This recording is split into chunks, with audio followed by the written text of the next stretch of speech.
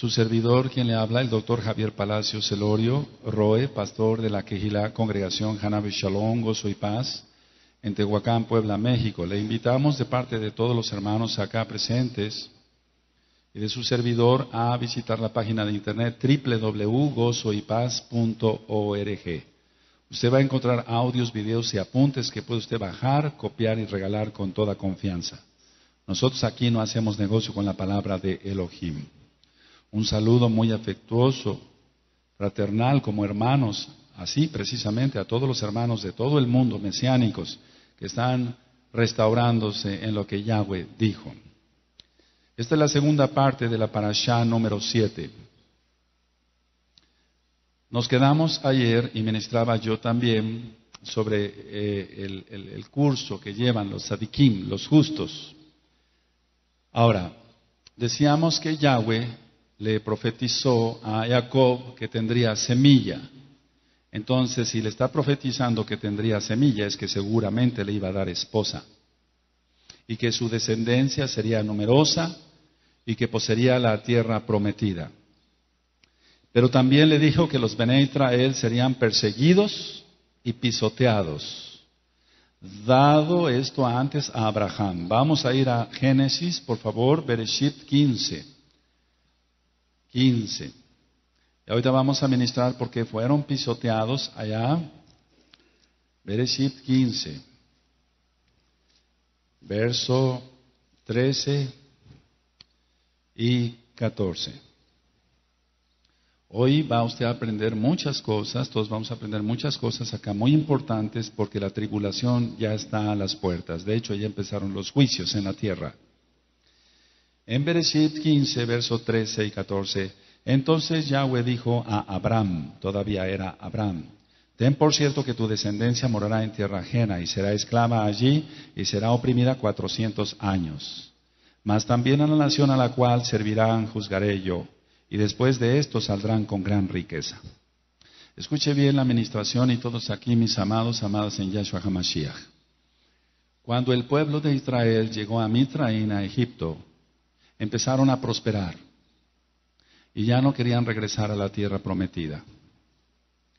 Y fue por eso que entonces los hicieron esclavos. Lo mismo pasó en la Segunda Guerra Mundial y esto que voy a decir probablemente no le guste a mucha gente, pero lo voy a decir porque es la verdad. Durante tres meses, escuchó usted bien, durante tres meses las fronteras estuvieron abiertas para que todos los judíos, los yehudí, los israelitas volvieran a la tierra, a Eretz Israel. Durante tres meses estuvieron abiertas las fronteras, pero no quisieron regresar a su tierra por la prosperidad que habían obtenido en Europa. Y a los tres meses las fronteras fueron cerradas y entonces empezó la persecución, el holocausto. Nosotros, lógico que no aprobamos el holocausto que hizo Hitler porque era un hijo de Satanás. Pero Yahweh no podía traer juicio a su pueblo sin antes avisarles. Entonces, vuelvo a repetir por cuarta vez, durante tres meses estuvieron abiertas las fronteras, pero ellos no quisieron regresar a su tierra. ¿No será el caso de usted ahora? Que Yahweh le está diciendo, vuelve a las raíces, vuelve a lo que yo digo, vuelve a guardar los mitzvot, vuelve a guardar el Shabbat, vuelve a guardar las fiestas, entra al pacto de la milá, de la circuncisión, el pacto que Yahweh hizo con Abraham vino, las fronteras están abiertas ahorita. Pero eh, va a llegar un momento en que se van a cerrar en lo espiritual.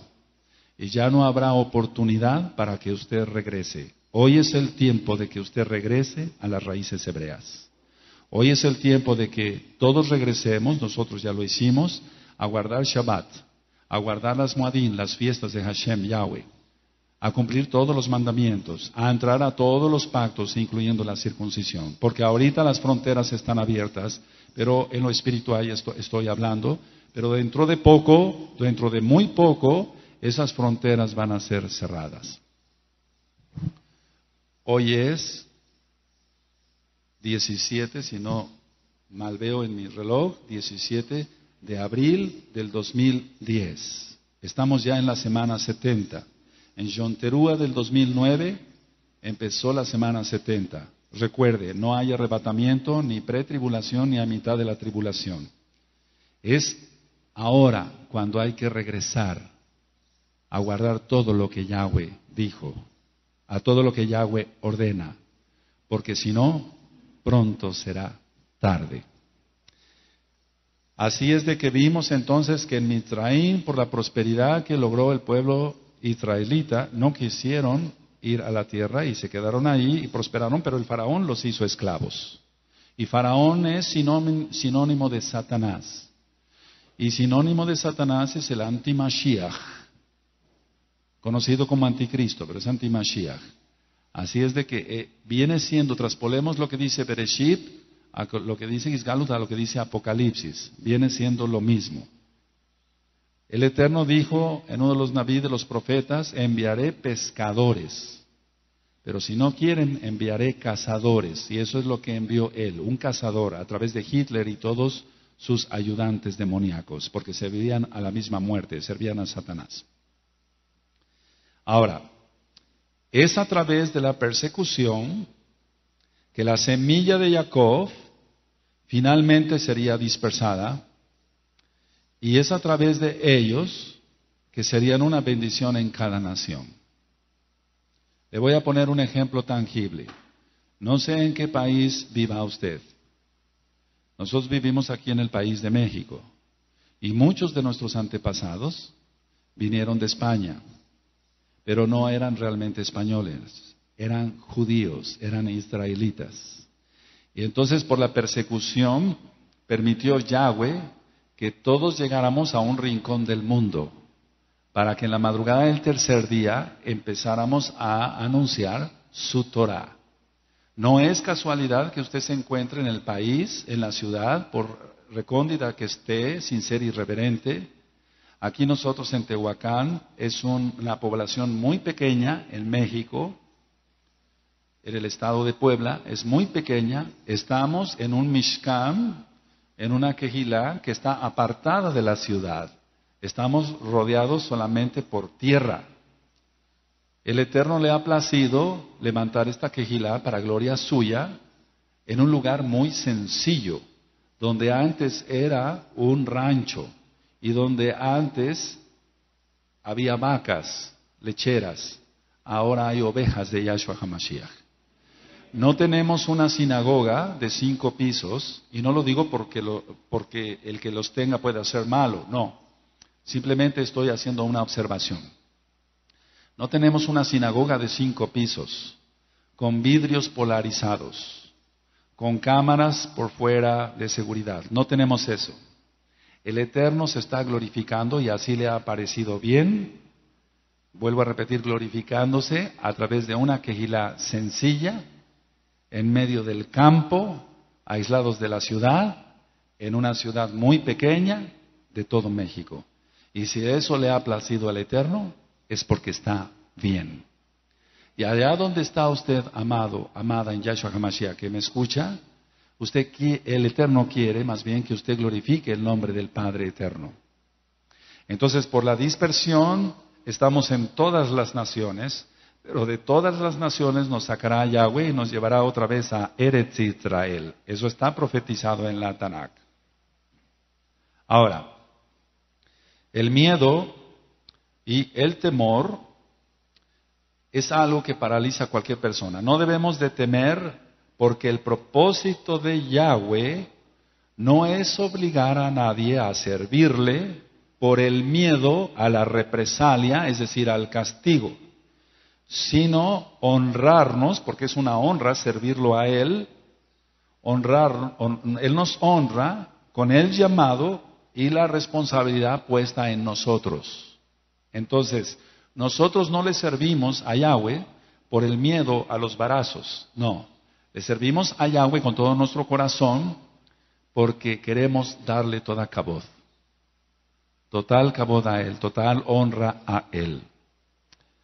Ahora, la segunda mitad de la braja, de la bendición, donde Yahweh promete a Jacob que él estará con él y que le protegerá y que le guiará en todo su, su llamado divino, es algo muy profundo que a nosotros en estos últimos tiempos nos debe de llamar la atención. Si Jacob renunció al mundo, se apartó, cumplió todos los mitpos, toda la Torah, Quiere decir eso entonces que al Eterno le agrada la obediencia y al obediente Él lo guarda y lo protege. Yahweh no le da una licencia a Jacob, a Jacob, para hacer lo que él quiera o ir a donde él quiera, sino a donde Yahweh lo mandara. Yahweh promete específicamente proteger, proteger y proveer, proveer a Jacob siempre que tenga la intención de cumplir el llamado como los hijos de Abraham e Isaac. Entonces vamos a ver nuestras Biblias, Natanaj, que es el nombre correcto, en Bereshit, Génesis 28, 20. Y esto es algo muy profundo que voy a ministrar ahora. Bereshit 28, verso 20 al 22. Así es que, si usted ya fue llamado a regresar a las raíces hebreas, a tomar todos los pactos, no, esté usted pensando si le conviene o no. Claro que le conviene guardar todos los pactos, todos los mandamientos de Yahweh. En Bereshit 28, verso 20 dice, E hizo Jacob voto diciendo, si fuere Elohim conmigo, y me guardare en este viaje en que voy, y me diere pan para comer y vestido para vestir, y si volviere en paz, en Shalom, a casa de mi padre, Yahweh será mi Elohim. Y esta piedra que he puesto por señal será casa de Elohim, y de todo lo que me dieres, el diezmo apartaré para ti, el máster, el diezmo. Ahora, estos pasuquín se pueden malinterpretar.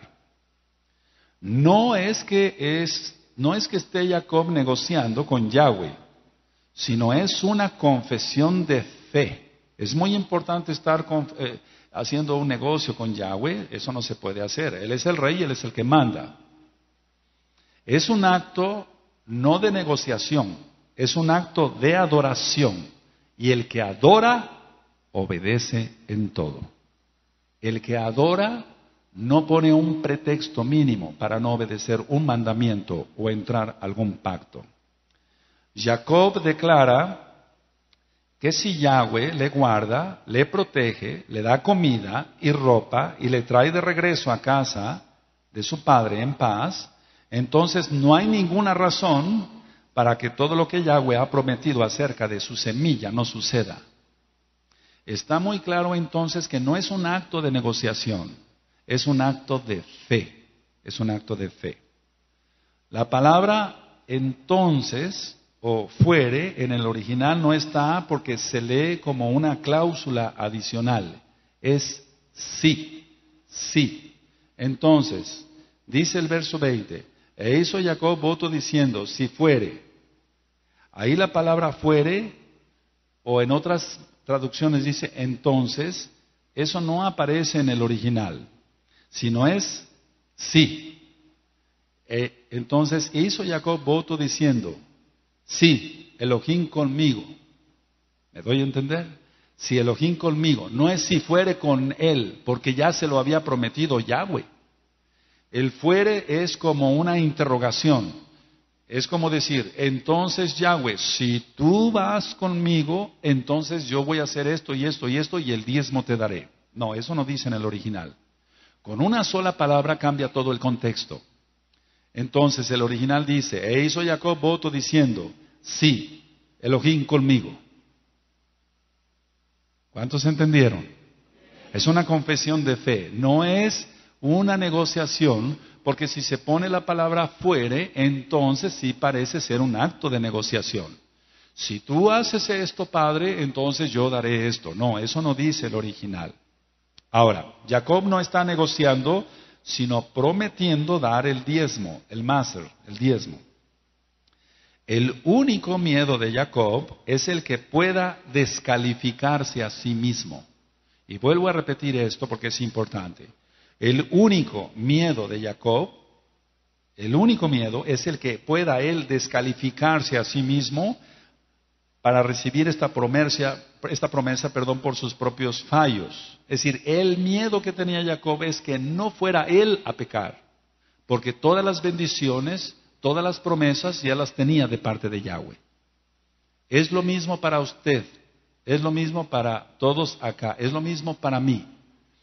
El Eterno te ha prometido una y mil veces en la Tanakh que te va a bendecir, que te va a prosperar, que no te va a faltar de beber, que no te va a faltar de comer, que no te va a faltar de vestir, que si estás enfermo te va a sanar. Todas esas son promesas que están en la Tanakh. El miedo no debe de estar en si Yahweh va a cumplir eso o no. El miedo que ocurre es cuando la persona no está en Kedushá, no está en santidad y dice, y si peco, entonces el Eterno probablemente no me provea. Entonces no peques. No peque usted, no pequemos todos acá, no peco yo, y entonces todas las bendiciones vienen. ¿Quedó claro, amados? Aleluya. Ahora, Jacob, entonces así es un hombre más atrevido y más fuerte. Vamos a Bereshit, a Génesis 29, verso 1 al 3. ¿Lo tienen, amados? Siguió luego Jacob su camino y fue a la tierra de los orientales y miró y vio un pozo en el campo y aquí tres rebaños de ovejas que yacían cerca de él, porque de aquel pozo abrevaban los ganados y había una gran piedra sobre la boca del pozo, una gran piedra. Y juntaban allí, dice el Pasuk 3, todos los rebaños y revolvían la piedra de la boca del pozo y abrevaban las ovejas y volvían la piedra sobre la boca del pozo a su lugar. Está hablando entonces en plural, revolvían, quiere decir que se necesitaba la ayuda de muchos hombres para remover esa piedra. Ahora, se nos dice entonces que todos los pastores para remover la piedra eh, no eran un número poco, sino muchos para que todos los rebaños pudieran beber. Pero cuando Jacob vio a Raquel, a Raquel, trayendo los rebaños de Labán, él fue solo, solo, uno, solo, uno, perdón por la redundancia, y removió la piedra del pozo. Labán era hermano de su madre. Entonces, la explicación espiritual es esta. Un tzadik puede mover montañas con la fe. Y no lo digo yo, lo dice Yahshua HaMashiach. Y mucha gente puede estar orando, pero si no es no son sadikim, no son justos, esas oraciones no suben al Malchut HaShamaim, no suben al cielo y no remueven ni una piedrecita. Pero un sadik puede remover, remover no solamente una, una piedra como esta del pozo, sino una montaña. ¿Se va entendiendo? Aleluya. Ahora, Jacob, como Sadik, remueve piedras de ignorancia. Eso le toca a usted, nos toca a nosotros acá, me toca a mí, porque si somos justos ante Yahweh cumpliendo la Torah y en primer lugar creyendo en Yahshua como Mashiach, entonces removemos las piedras de la ignorancia de la gente. Removemos las piedras de la religiosidad de la gente, porque la religión solamente ata a la gente, la gente no es libre. Y como no es libre, le impide a la gente beber del agua de la vida. Y solamente la vida la da Yahshua HaMashiach a través de su Torah. Un solo sadik puede traer vida y luz al rebaño que espera sediento por la verdad. Hay muchas almas que van a venir, no solamente a esta quejilá, sino a su quejilá allá y otras quejilot que el Eterno está levantando a nivel mundial. Entonces, esas quejilot, esas congregaciones, tienen que tener un sadik, un justo, para que dé de beber. Y al dar de beber, los demás se vuelven sadikim, justos. Y entonces ese grupo de justos dan de beber a otro tanto. Y se vuelven esos otros sadikim. Y esos dan de beber a más gente. Porque en estos últimos tiempos va a haber un avivamiento. ¿No es el avivamiento que estuvo esperando el cristianismo durante años? sino es un avivamiento de lo que el Eterno quiere hacer a través de la restauración, de su Torah, de su Torah. Ahora, si digo entonces, y estamos aprendiendo que un sadik puede traer vida y luz porque él removió la piedra, entonces pudieron beber los rebaños, es lo mismo que nosotros hacemos. Removemos la piedra de la ignorancia y entonces mucha gente puede venir a beber. Pero si no estamos en Kedushá, no estamos en santidad y no somos justificados, no somos justos, pues, entonces no podemos remover ninguna piedra y la gente no puede beber. Y la gente se puede morir de sed. Pero el Eterno nos puede demandar esa sangre y eso está en los navíes, en los profetas. Ahora, ya que Yahweh está con Jacob, él trae con él las bendiciones, las brajot de Yahweh al rebaño. Así que Jacob trae las bendiciones de Yahweh. Y también trae bendiciones a la familia de Labán. Sin importar, y esto es importante, qué tan malvado y tramposo es Labán. Él está bendecido por la presencia del Sadik.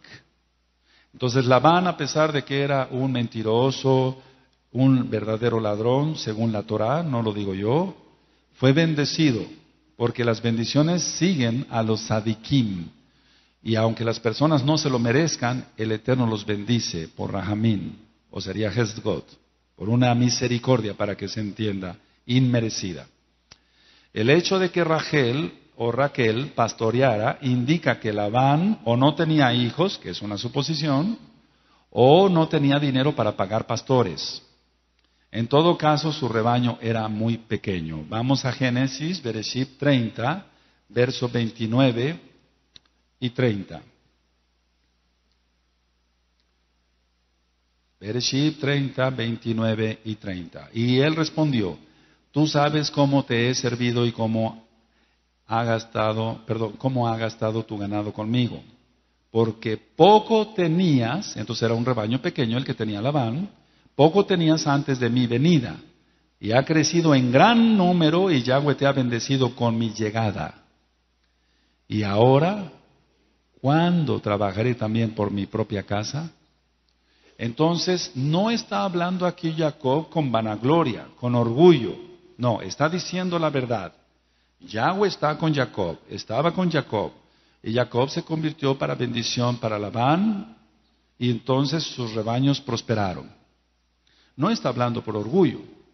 Entonces, si usted tiene la bendición de Yahweh, tiene usted el Ruach el Tevilá, el bautismo del Ruach usted va a hacer bendiciones no solamente para decenas, sino para centenas, sino para millares y para millones tal vez. Y lo mismo nosotros queremos acá. Y no nos estamos vanagloriando, porque Yahweh está con nosotros. Bendito es su nombre por la eternidad. Entonces el mismo Labán confiesa que la riqueza y la prosperidad que ha conocido no es fruto suyo, es decir, no es fruto de su trabajo, sino que por el sadí que está con él, él es bendecido. Vamos a ver ahí mismo en Bereshit 30, verso 27. Y Labán le respondió, hallé yo ahora gracia en tus ojos y quédate Halle, perdón, yo ahora gracia en tus ojos y quédate. He experimentado que Yahweh me ha bendecido por tu causa. ¿Se va entendiendo? Entonces, por la causa de que él, Jacob, es Sadik y que entonces Yahweh está con él. Pero ¿qué tuvo que hacer Jacob para tener las bendiciones de Yahweh? Ser obediente. ¿Acaso lo estamos siendo usted y yo? ¿Acaso lo estamos haciendo aquí todos? Un servidor, en primer lugar. Entonces, si estamos siendo obedientes, tendremos las bendiciones del Eterno y podremos ser motivo de bendición para mucha gente. Pero si no, el Eterno nos lo va a demandar. Jacob entiende de que es su justicia, gracias a Yahweh, que ha permitido Yahweh, pues, trabajar a través de él y hacerle una bendición en la aridez de Arán, porque Arán es desierto. Vamos a ver Bereshit, Génesis 30, verso 33. Así responderá por mí mi honradez mañana, cuando vengas a reconocer mi salario. Toda la que no fuere pintada ni manchada en las cabras de color y de color oscuro entre mis ovejas se me ha de tener como de hurto. Y ya recordamos todo, y no es el tema hoy, porque si no nos vamos a ampliar mucho, que el Eterno bendijo a Jacob y que el ganado de él fue muy prosperado. Entonces, es muy importante que tome usted esta lección, no mía, de la Torah. Si usted obedece a Yahweh, si todos aquí obedecemos, amados preciosos, a Yahweh, todo lo que toquemos será bendecido. Todo lo que toquemos será multiplicado. Todo. Créalo. Está en la Torah. Solamente lo que el Eterno demanda es obediencia, kedusha, vivir en santidad. El verdadero sadik entiende que la bendición, que la braja, no es solo para provecho propio. Y vuelvo a repetir esto porque es muy importante. El verdadero sadik entiende que la bendición que da el Eterno no es solo para provecho propio, sino para provecho de los demás. Sean convertidos a Yahshua o no sean convertidos a Yahshua. Sin embargo, el Eterno después hará una distinción porque el Eterno es Elohim de distinción y eso usted lo encuentra en la parashá número 1 y 2. Ahora, se cumple lo que Yahweh dijo a Abraham, que a través de él y de su semilla, en este caso Jacob, todas las naciones de la tierra serían bendecidas, todas. Por lo tanto, el Sadik Yahweh lo bendice de una manera especial y no solamente a él, sino a los de su alrededor. Póngase a pensar, si usted es justo ante Yahweh, creyendo desde luego en Yahshua HaMashiach, usted cumple todos los mitbots, usted va a experimentar algo muy hermoso y cada uno de los ajim aquí y de las ajoyot de las hermanas lo va a experimentar. Que no solamente el Eterno nos bendice a nosotros, sino que bendice a otras personas a través nuestro. Y esto es solamente para gloria de Yahweh. Experimente usted eso. Tiene usted que experimentar eso. Ahora, el sadik, es decir, el justo, es meramente el vaso por el que Yahweh da su amor y su rahamín a otros. Es el vaso. Yo lo he comparado siempre con esto. Tengo una jarra vacía. El Eterno me lo llena de agua, de su Torah. Y yo tengo mi propio vaso para beber. Y yo bebo y tengo que beber. Pero si hay otros vasos vacíos y yo no los lleno con esa agua preciosa de la Torah, entonces el Eterno vería que el agua, la jarra, perdón, que Él me llenó, yo no la estoy empleando para bendecir a otros. Entonces Él puede cortar esa bendición. Porque puede decir, mi hijo no quiere compartir lo que yo le doy.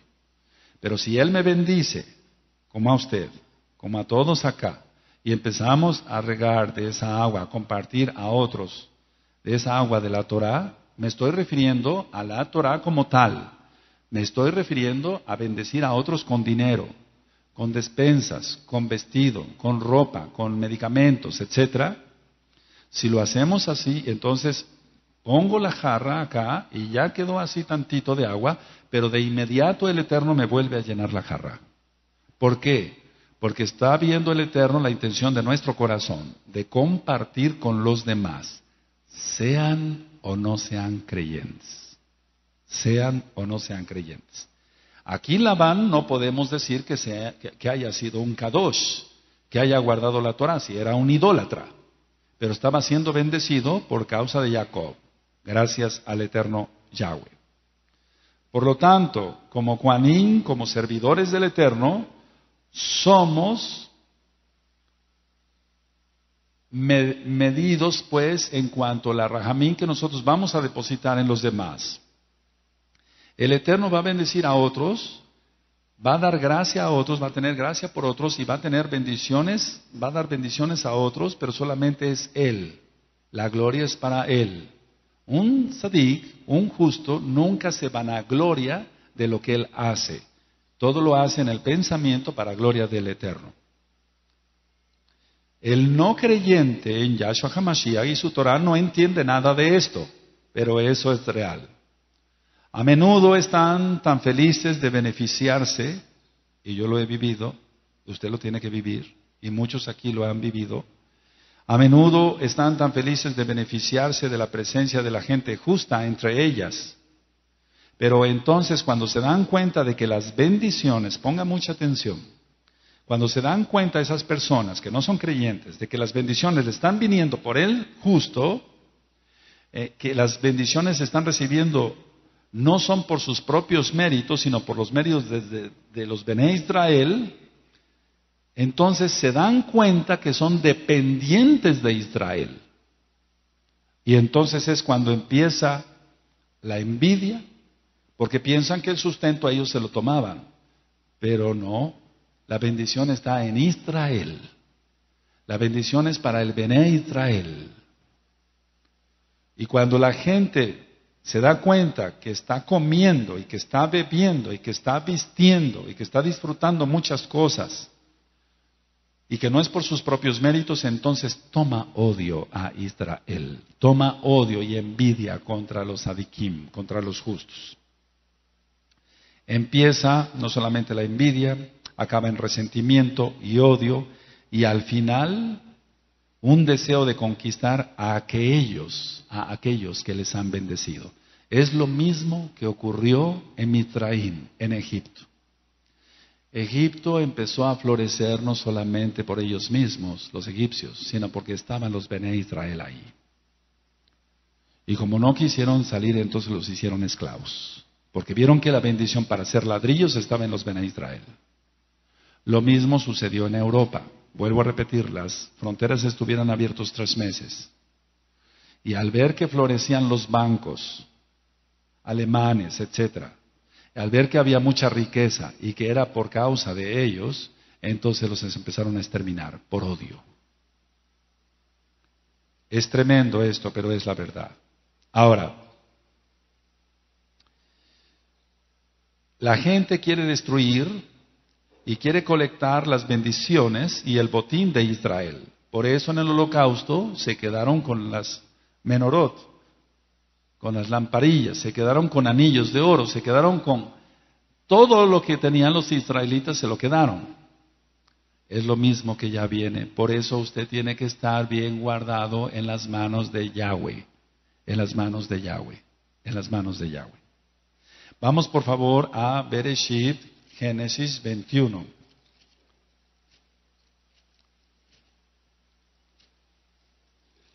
Es lógico que alguien que tiene el Raja Kodesh va a ser envidiado por otros. Dice la palabra del Eterno que el que quiera vivir piadosamente padecerá persecución y que muchas son las tribulaciones del justo, o sea, del tzadik. En Génesis 21, Génesis 21, versos 22 y 23. Aconteció en aquel mismo tiempo que habló Abimelech y ficó el príncipe de su ejército, a Abraham, diciendo, Elohim está contigo en todo cuanto haces. Ahora pues, júrame aquí por Elohim que no faltarás a mí, ni a mi hijo, ni a mi nieto, sino que conforme a la bondad que yo hice contigo harás tú conmigo y con la tierra en donde has morado. ¿Qué pasó aquí? Ya lo leímos en la, en la parte primera de esta parasha 7 que Abraham empezó a crecer mucho en posesiones, sus rebaños empezaron a crecer mucho y entonces Abimelech tuvo miedo. Es lo mismo que pasó en Misraín, en Egipto, es lo mismo que pasó en Europa y es lo mismo que ya viene ahora.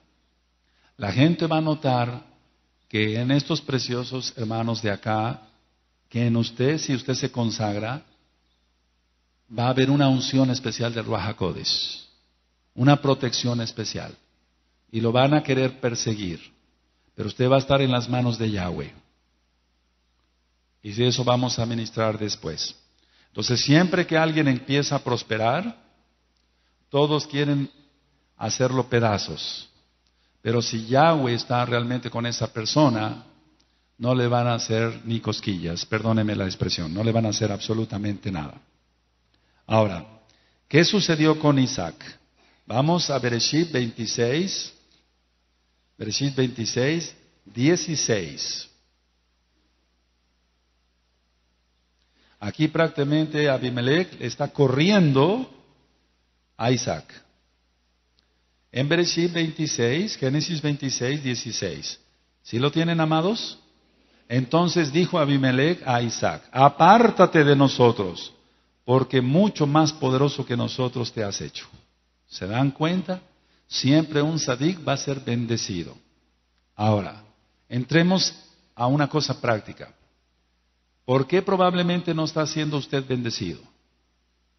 ¿Por qué probablemente algunos de aquí no están siendo bendecidos?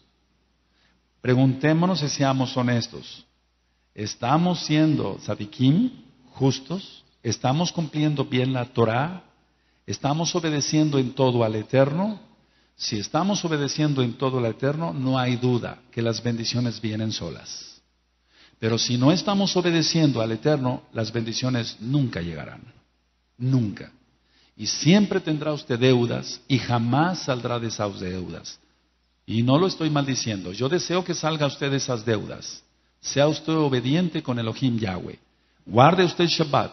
Guarde usted las fiestas. No por temor, sino por amor a Él. Entre usted al pacto de la circuncisión, varón que me escucha, que me ve. Y todos aquí los que faltan, entren pronto, porque el tiempo se está acortando. Así que entonces dijo Abimelech a Isaac, apártate de nosotros.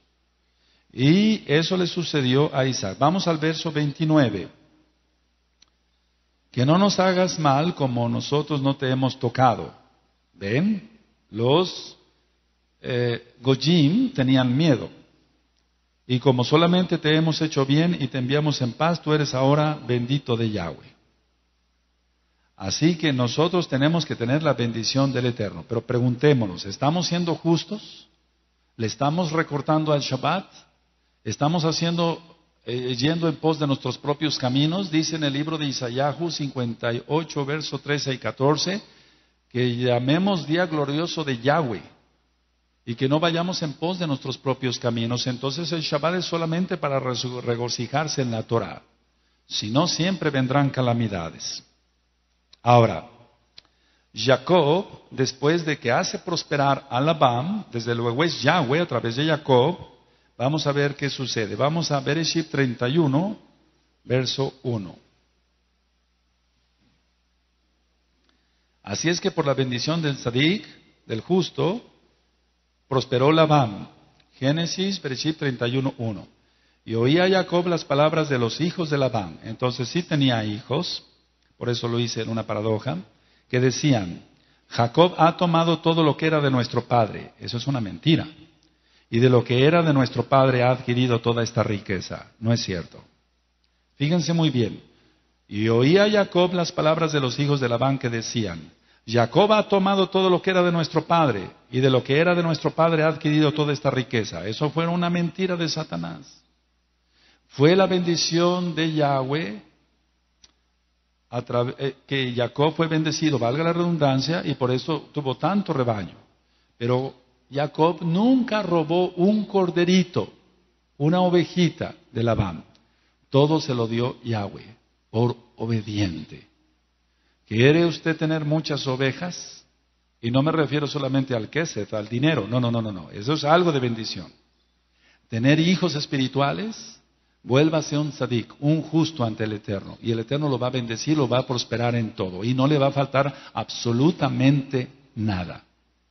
Esta lección, amado Sahin, acá en la Kegillah Shalom, y usted que me escucha en otras partes del mundo, y lo bendecimos de parte de la congregación Hanabe Shalom, vuélvase un sadik, cumpla con todo en el Eterno, y usted será bendición para otros. Ahora, Labán piensa igual que sus hijos. Vamos a Bereshit 31, verso 43.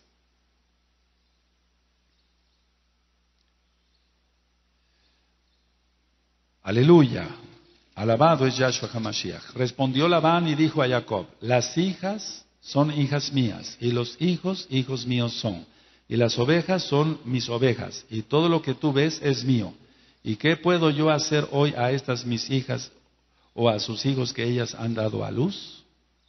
¿Te das cuenta? Ya estaba reclamando todo, no nada más las ovejas, estaba reclamando la esposa o y la otra que se le había dado por engaño a Lea y hasta los hijos los estaba reclamando como propio. Todo lo estaba reclamando para él, pero de él no eran.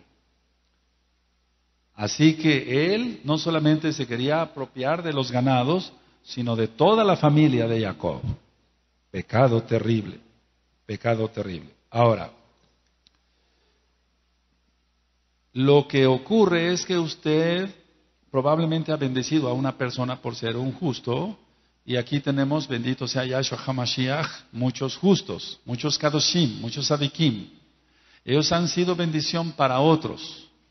Pero viene una pregunta, o más bien una admiración. Qué rápido se le olvida a la gente por qué fue bendecida.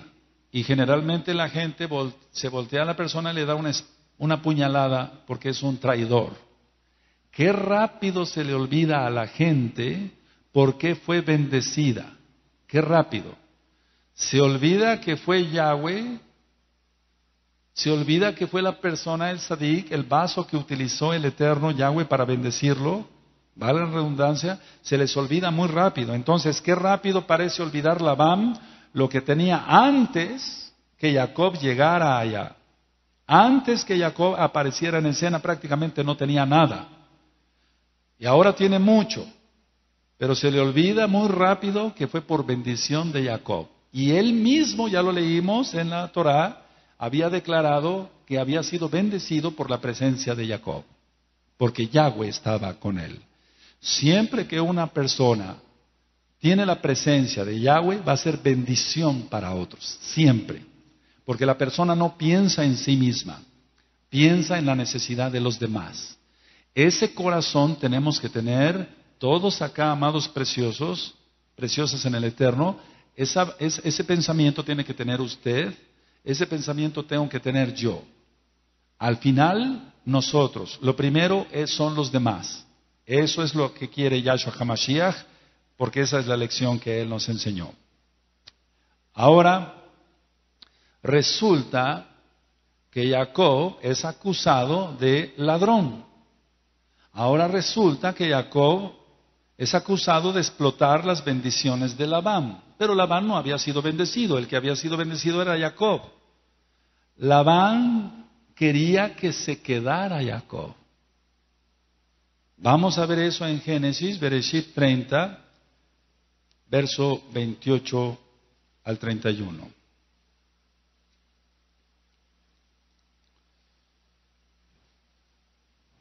Y dijo, señálame tu salario y yo lo daré. Y él respondió, tú sabes cómo te he servido y cómo eh, ha, estado tu ganado conmigo. Porque poco tenías antes de mi venida y ha crecido en gran número y Yahweh te ha bendecido con mi llegada. Y ahora, ¿cuándo trabajaré también por mi propia casa? Y él le dijo, ¿qué te daré? Y respondió Jacob, no me des nada. Si hicieres por mí esto, volveré a apacentar tus ovejas. Ahora, en realidad lo que quería Labán era que no se fuera el justo, porque si sabía que se iba el justo, él se iba para abajo. Por eso iniciamos la administración en la primera parte de esta parasha, que un justo, y eso lo leímos en Mishalí, en Proverbios, que un justo bendice su familia, bendice a sus familiares, bendice la colonia donde vive, bendice la ciudad, a todos los que le rodean. Es una bendición el, el sadik, el justo. Pero una vez que el sadik, el que es justo, sale de ahí, la población se va para abajo. Nosotros somos luz en las tinieblas, dice Yahshua HaMashiach. Si usted o nosotros aquí no habláramos a nuestros familiares de la Torah de Yahshua HaMashiach, ¿quién les hablaría? Y no lo estamos haciendo por orgullo, sino porque Yahweh está con nosotros. Les hablamos y entonces empiezan como a brillarles los ojos. Al mismo, al mismo tiempo viene Satanás con sus demonios y les empiezan a ministrar cosas anti-Torah. Pero seguimos ministrando más Torah, más Torah. Pero ¿qué sucedería si todos estos preciosos amados acá amadas en Yahshua HaMashiach, y usted que ya ministra la Torah como el Eterno lo demanda, usted que ya entró en todos los pactos, usted que ya guarda todos los mitzvot, los mandamientos, ¿qué sucedería si usted se sale de su ambiente, no de su familia, sino de sus familiares? Sus familiares morirían de sed. porque ya no habría quien les llevara agua de la Torá, estarían en tinieblas porque ya no habría quien les llevara la luz de la Torá. Ahora, Jacob rehusó aceptar cualquier regalo de Labán como lo hizo Abraham. Aquí Labán le está proponiendo algo, pero Jacob no acepta nada más que trabajar. Y la bendición de Yahweh, por eso fueron numerosos sus ganados. Abraham, recuerda usted, y eso ya lo vimos en otra parasha, luchó contra cuatro reyes, pero ni un cordón de una sandalia quiso, para que no dijeran los reyes, ah, nosotros hicimos rico a Abraham. Es lo mismo que piensa todo Sadik, y no es por orgullo, porque es una lección de la Torah, que nosotros no vamos ni siquiera por medio vaso de agua. Nosotros vamos a ir a ministrar, en de Hashem Yahweh, si el Eterno lo permite, Yahweh, el bendito nombre de Yahweh, dentro de dos días a la capital de la República Mexicana a ministrar varios pastores cristianos que quieren conocer de la Torah. Y ellos me dijeron, ¿qué es lo que pide usted y los que vienen? Nada. No vamos por medio vaso de agua. Y no lo estoy diciendo por orgullo. Vamos a llevarles discos, vamos a llevarles apuntes de parte de todos y no llevamos poco, llevamos mucho material y todo se va a regalar porque si recibimos de gracia debemos de dar de gracia. ¿Acaso eso es orgullo? No, es cumplir un mandamiento. Es cumplir un mandamiento. No es por orgullo que los hermanos no vayan por medio vaso de agua. No es por orgullo que yo no vaya por medio vaso de agua, sino es una mitzvah, es un mandamiento. El agua nos la da el Eterno. Alabado es su nombre. Bendito es Yahshua HaMashiach. Nadie más que Yahweh recibiría la jalel, la alabanza, la exaltación por la buena fortuna de Jacob.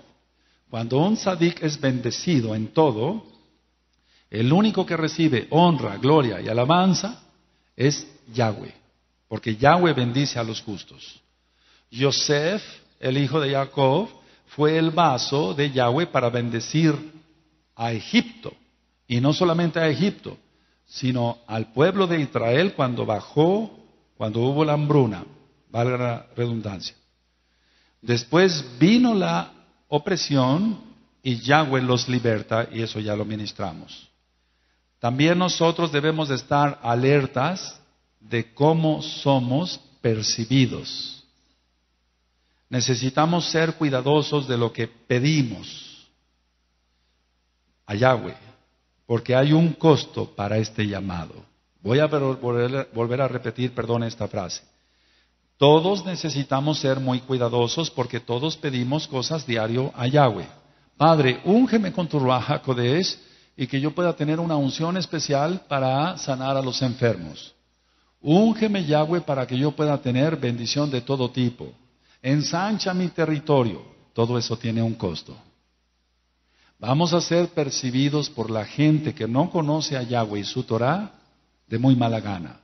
Nos van a difamar, nos van a vituperiar, nos van a tachar de locos, perdóneme la expresión, pero eso también está en la Tanakh. Y entonces tenemos que tener cuidado de lo que pedimos, porque hay un costo para este llamado, para, para cada bendición que hay. Ahora, para poder resistir tales tormentas, debemos de centrarnos en las promesas de Yahweh. Yahweh está siempre alerta de lo que acontece en, en, nuestras vidas. Vuelvo a repetir, Yahweh siempre va a estar alerta de lo que acontece en nuestras vidas. Si te enfermas, Él lo sabe. Si tienes necesidad de dinero, Él lo sabe. Si estás pasando una tristeza, Él lo sabe, pero Él sale al rescate también. Bendito es su nombre. Él nos librará del mal.